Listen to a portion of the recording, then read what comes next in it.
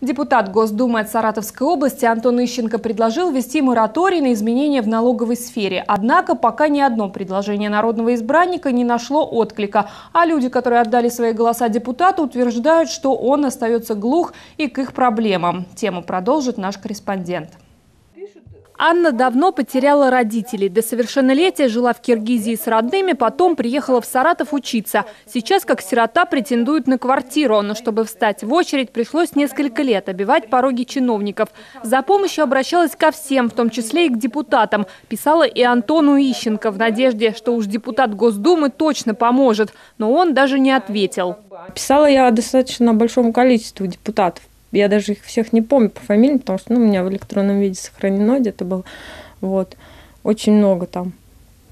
Так вот, я говорю, с правительства, и Субботин что-то ответил. Все, больше никто мне нет. Ни, ни Ищенко, на персональной страничке депутата Госдумы десятки обращений от жителей Саратовской области. Вызывают к совести Ищенко в интернете даже представители телекоммуникационной компании. Просят оплатить долг за услуги связи. Наговорил депутат почти на 10 тысяч рублей. В интернете менее словоохотлив. Отвечает лишь на пару сообщений, да и то спустя полгода. Найти довольных деятельностью народного избранника наша съемочная группа пытается у регионального отделения ЛДПР, в чьи списки входит Ищенко. Но здесь нет не то, что тех, кому бы он помог, но даже таких, кто слышал бы его фамилию. Скажите, вы знаете такого депутата Государственной Думы Антона Ищенко?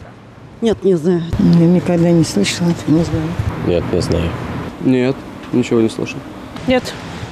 Нет, не слышала. Иногда с трудом вспоминают инициативы Ищенко и коллеги по депутатской деятельности. Говорят, пока на всех уровнях разрабатывают законодательные инициативы, народный избранник лишь привлекает внимание к своей персоне. Ни разу он не вынес на рассмотрение в Госдуму вопрос о выделении средств на дороге, хотя знает, как нужны деньги Саратовской области. К сожалению, вот э, в этой помощи нету э, вклада депутата Ищенко, хотя он член бюджетного комитета Госдумы.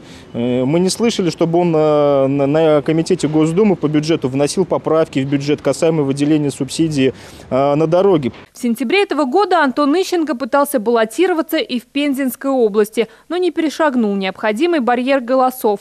Местные жители даже организовали пикет против его кандидатуры. Жители Пензы не хотят видеть его среди представителей власти. Елена Губенкова, Евгений Шейченко, РЕН-ТВ, Саратов.